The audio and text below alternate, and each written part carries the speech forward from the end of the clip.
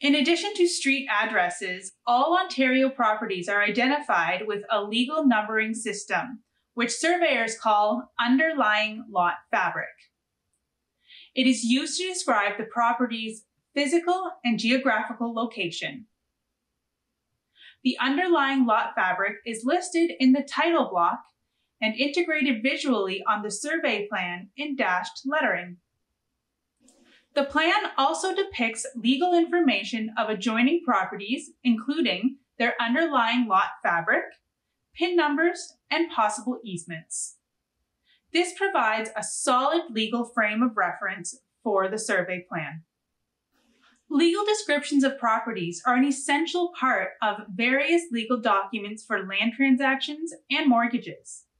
These descriptions are also used by municipal and provincial governments for tax assessments. Land professionals such as land surveyors, lawyers, planners are also obliged to use this identification system in their legal documents.